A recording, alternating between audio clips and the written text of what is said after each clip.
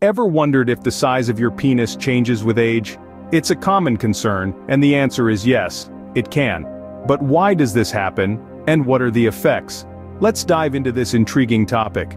The length of a penis can decrease by up to an inch or so due to various reasons such as aging, obesity, prostate surgery, or a condition known as Peyronie's disease which causes a curve in the penis.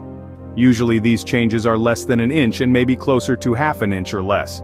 And, despite the reduction a slightly shorter penis won't affect your ability to have an active satisfying sex life. As you age, fatty deposits build up in your arteries, reducing blood flow to your penis.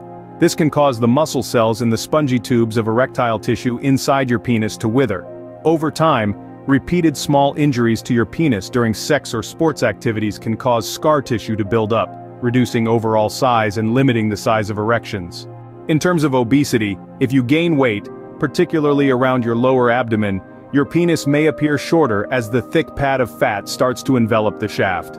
In extreme cases of obesity, fat can enclose most of the penis, making it appear smaller.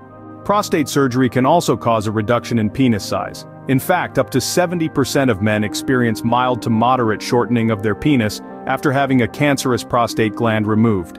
The exact cause isn't clear, but one possibility is abnormal muscle contractions in the groin that pull the penis farther into the body. Peyronie's disease is another cause. This condition leads to the development of an extreme curvature in the penis that can make intercourse painful or impossible. Surgery to remove the scar tissue that causes Peyronie's can also reduce the size of the penis. So, when should you see a doctor? If you are scheduled for radical prostatectomy, discuss potential penile shortening with your doctor. If you start to develop a curvature in your penis with pain and swelling, it could be a sign of Peyronie's disease, and you should see a urologist. To maintain erectile function with age, stay physically active, eat a nutritious diet, avoid smoking, and limit alcohol consumption. Erections fill the penis with oxygen-rich blood, which could prevent shortening. If your penis shortens after prostate removal, be patient. In many cases the shortening will reverse within 6 to 12 months. In conclusion, while penis size can reduce due to aging, obesity, prostate surgery, or Peyronie's disease, it's important to remember that a slightly shorter penis doesn't affect your ability to have an active, satisfying sex life.